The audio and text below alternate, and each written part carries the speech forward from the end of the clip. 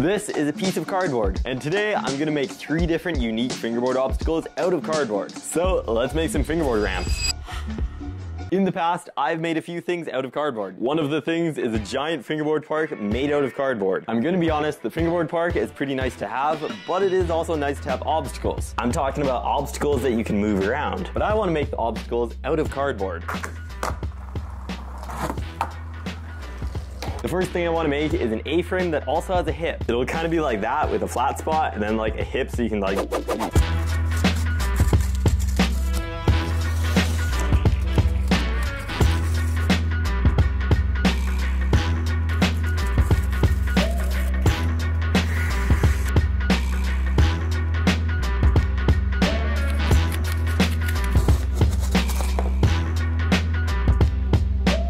got these two pieces cut out now, and these are gonna go like this. I kind of just realized now how big this obstacle is gonna be, but that's kind of all right.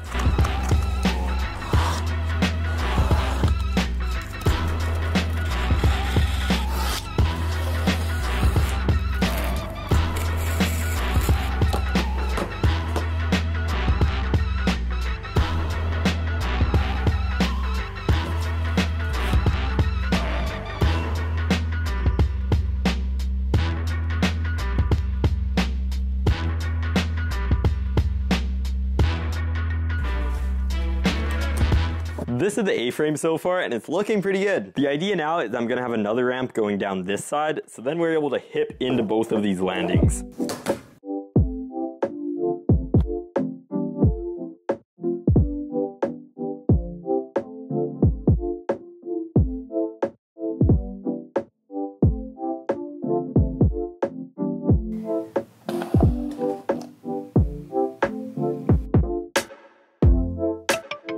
This obstacle turned out quite a bit bigger than I was thinking. I think this would also have more flow if it was a little bit smaller, so I think I'm just gonna cut the entire thing down a little bit.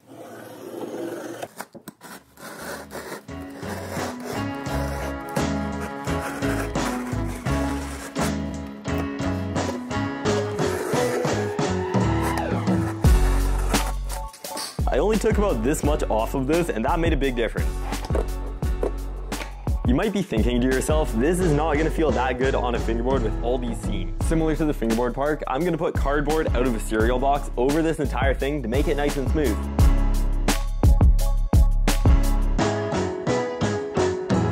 All that needs to be done now is putting this cardboard over this entire thing.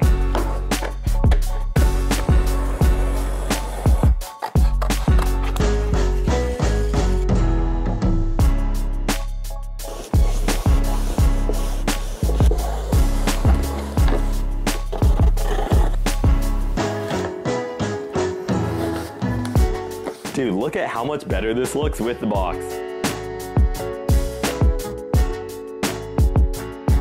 Overall, pretty happy with this. There's a couple gaps in the cardboard just because I ran out, but overall, it's pretty good. It is time to make the second fingerboard obstacle out of cardboard.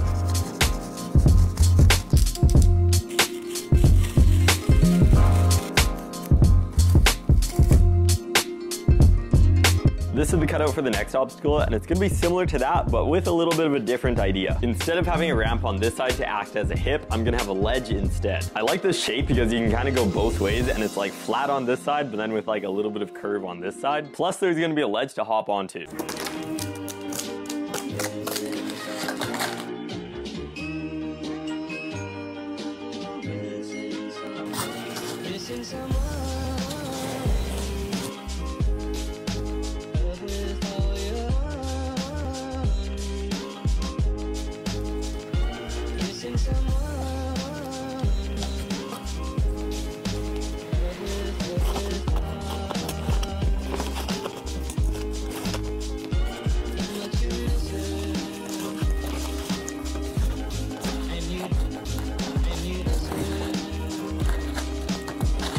If anybody wants to make this themselves, make sure to use this exact cardboard from an air purifier and it works amazing.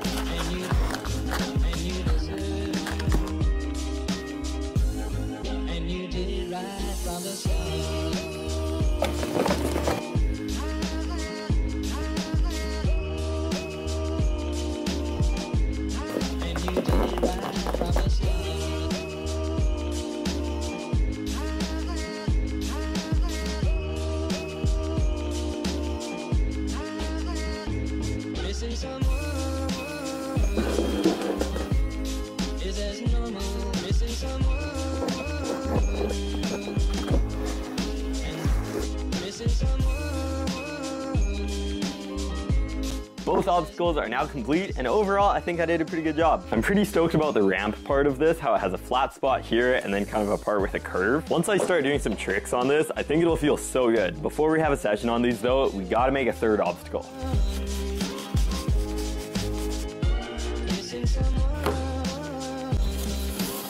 This is the cutout for the third obstacle and it has a nice smooth part here, a flat part on top, and then kind of this like cool shape to it. I think when you fingerboard on this, you'll be able to get kind of creative with like what you do.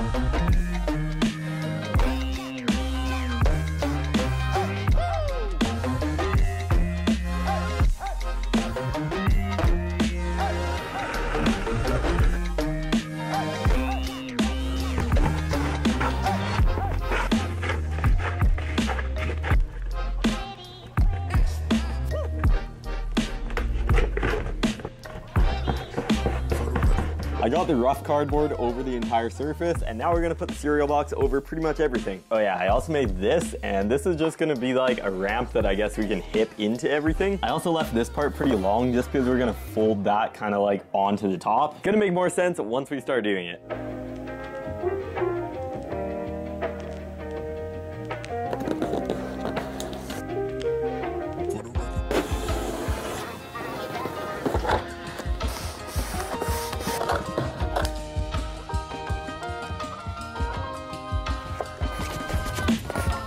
The third obstacle is finally complete. Just this one obstacle took like four and a half hours. With all the obstacles complete now, let's test them out.